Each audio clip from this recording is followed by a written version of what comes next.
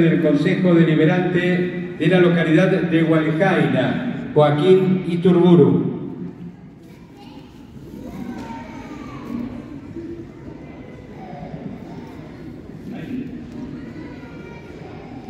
Bueno, en primer lugar, bienvenidos,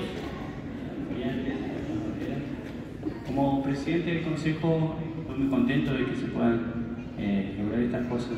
Encuentro, obviamente, no es fácil, con mucha ilusión, como decía nuestra vecina, nuestra productora.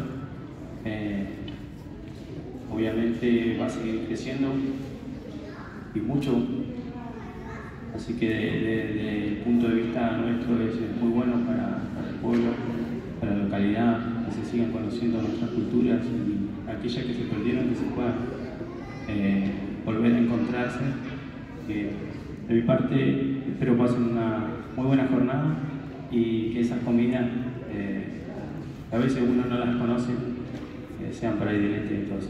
De mi parte, muchísimas gracias por la y que la pasen más que bien.